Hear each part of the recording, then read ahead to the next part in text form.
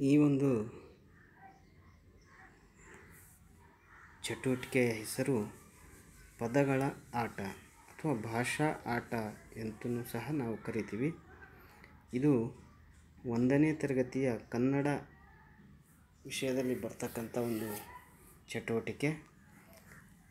ಈ ಚಟುವಟಿಕೆಯು ಒಂದನೇ ತರಗತಿಯ ಏಳನೇ ಮೈಲುಗಲ್ಲು ನೂರ ಐವತ್ತ್ನಾಲ್ಕು ಮೆಟ್ಟಿಲುಗಳ ಸಂಖ್ಯೆಯಾಗಿರುತ್ತದೆ.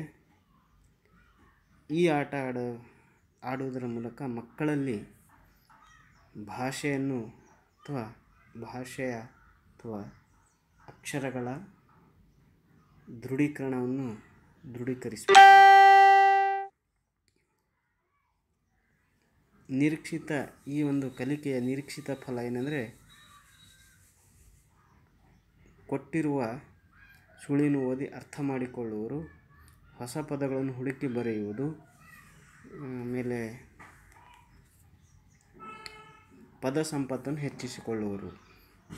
ಈ ಒಂದು ಚಟುವಟಿಕೆಯ ಲೋಗೋ, ಜಿರಾಫೆ. ಇದು ನಾಲ್ಕನೇ ಗುಂಪಿನಲ್ಲಿ ಬರ್ತಕ್ಕಂಥ ಒಂದು ಚಟುವಟಿಕೆ. ಚಟುವಟಿಕೆಯ ಮೂಲಕ ವಿ ಕಲಿಕಾರ್ಥಿಗಳು ತಾರ್ಕಿಕ ಆಲೋಚನೆಯಿಂದ ಪದ ರಚನೆ ಮಾಡುವರು. ಕೊಟ್ಟಿರುವ ಅಕ್ಷರಗಳಿಂದ ಹೊಸ ಪದ ಹುಡುಕಿ ಬರೆಯುವರು. ಸೂಚನೆ, ಸೂಚನೆಗಳನ್ನು ಗ್ರಹಿಸಬಲ್ಲರು ಲಿಖಿತವಾಗಿ ಮತ್ತು ಮೌಖಿಕವಾಗಿ ನಿರ್ದೇಶಿತ ಸನ್ನಿವೇಶಗಳಲ್ಲಿ ತೊಡಗಿಕೊಳ್ಳುವರು. ಈ ಒಂದು ಚಟುವಟಿಕೆಯ ಉದ್ದೇಶ ಏನಂದರೆ, ಅಂದರೆ ಮಕ್ಕಳಲ್ಲಿ ನಾವು ಯಾಕೆ ಈ ಒಂದು ಚಟುವಟಿಕೆಯನ್ನು ಮಾಡಿಸ್ಬೇಕಂತಂದರೆ ಪದ ಸಂಪತ್ತನ್ನು ಹೆಚ್ಚಿಸಿಕೊಳ್ಳುವರು. ಸೂಚಕ ಸೂಚನೆಗಳನ್ನು ಅರ್ಥೈಸಿಕೊಳ್ಳುವರು. ಕಲಿಕಾರ್ಥಿಗಳು ಕಲಿತಿದ್ದನ್ನು ಆಟದ ಮೂಲಕ ದೃಢೀಕರಿಸುವುದರ ಮೂಲಕ ಮತ್ತು ಮನರಂಜನೆಯನ್ನು ಪಡೆದುಕೊಳ್ಳುವರು.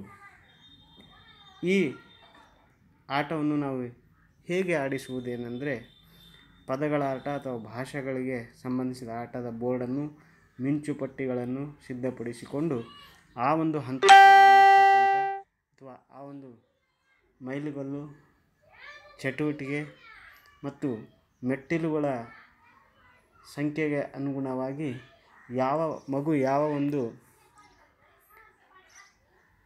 ಹಂತದಲ್ಲಿದೆ ಇದ್ದಾನೆ ಎಂಬುದನ್ನು ತಿಳಿದುಕೊಂಡು ಈ ಒಂದು